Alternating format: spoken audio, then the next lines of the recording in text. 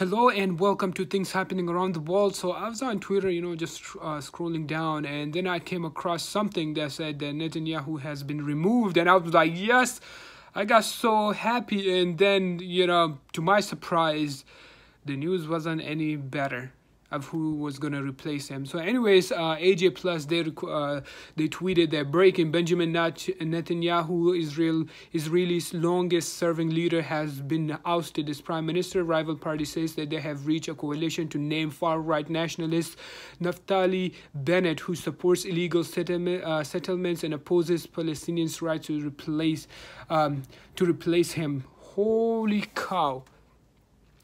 Okay, so then they also attach a video to it, uh, five things about this new guy who was going to replace him. First of all, um, I personally never liked Netanyahu. Um, and when I saw this news, I thought it was for the better, and somebody else, you know, probably a little more humane was going to replace him. I don't know much about this guy myself, but according to AJ Plus, in the video, they say five things to know about him. They said that one, he uses the Bible to defend that, you know, Israel belongs to the Israelis.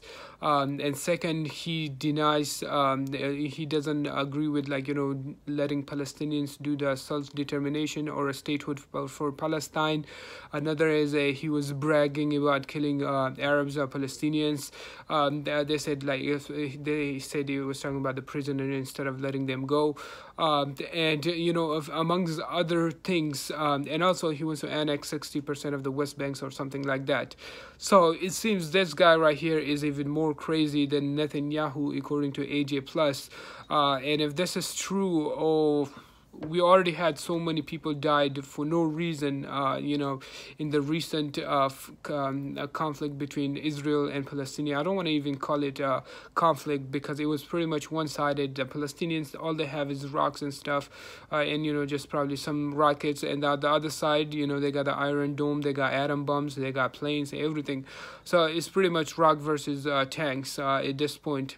But this right here I just feel like it's not going to end well from now on. They gave it to somebody that they're giving the leadership to somebody who's probably far worse than the current leader, who we thought was one of the worst people there are, and now we now we find out that there's probably he's going to get replaced by somebody even worse. Uh, man, I just have a bad feeling about this. Um, anyways guys as always thank uh, always thank you guys for tuning in and uh, this is one of the things currently taking place around the world. Don't forget to subscribe for more informative videos. Till then take care of yourselves. This is just crazy. Let me know your thoughts about this whole ordeal